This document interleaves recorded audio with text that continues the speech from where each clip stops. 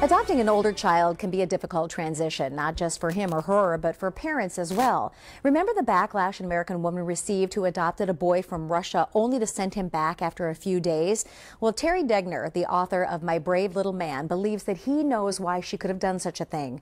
From personal experience, he says it's because older children who've been abandoned often come with baggage, and if adoptive parents aren't prepared to react to that child in a loving way, it can certainly be disastrous. And Terry joins us now with more on his personal and oftentimes painful memoir. Hi, Terry. Hi. Let's talk a little bit about this. First of all, you say one of the most important things in your life was a role model. Yes. And as an adopted child, sometimes those are kind of hard to come by because of that baggage that they bring into those situations. Very much so. And, uh, and, in fact, I was talking to somebody today uh, about my parents uh, and what they did for me, my adopted parents, of course.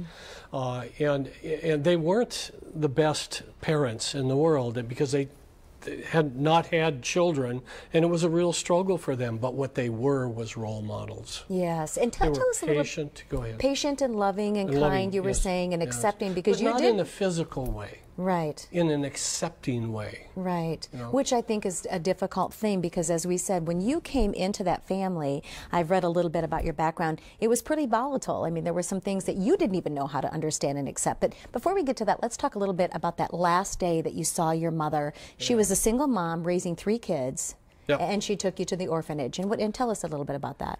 The uh, well, the the orphanage made the mistake. This is not the first time I ran away. The orphanage made the mistake uh, one day before I met my adopted parents of telling me where she was at. Now I didn't know that she had already given up her rights to us, uh, and within the hour I was gone. I ran away. Right. Uh, and uh, I, it took me about two and a half hours uh, going in locations I had never been before, asking strangers directions. Uh, and yes, I did find her. I found her at St. Scholastica's up in? Duluth. Uh, and her and I uh, uh, had some moments in, in the back, uh, in the garden. Uh, and it was at that time that I promised her I'd come back and find her. Yeah. Do you have a relationship with her today? You got to read the book. Yeah, okay. You're like not going to give any of that away, woman. So, in your let's talk just briefly about how your parents have changed your life and why it is that you came to write this book. Well, the, the let's start with why I read, wrote, wrote the book.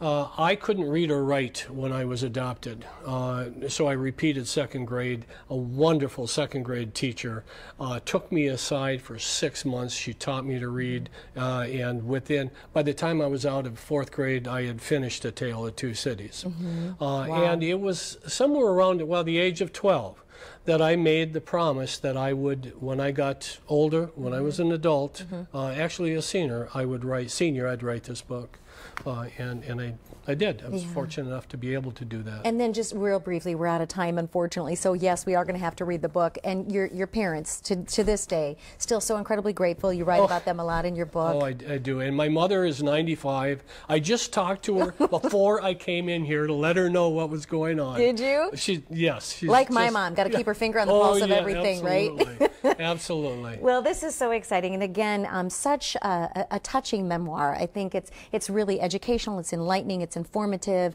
it's tender. If you would like to meet Terry, there's going to be a book signing, Barnes and Noble, downtown Rochester, on Thursday, this coming Thursday, from 11 until 2, and uh, autograph uh, copies. I'm su- certain, right? Yep. Excellent. Hey, thank All you right. so much Thank for you, joining us here today, Terry.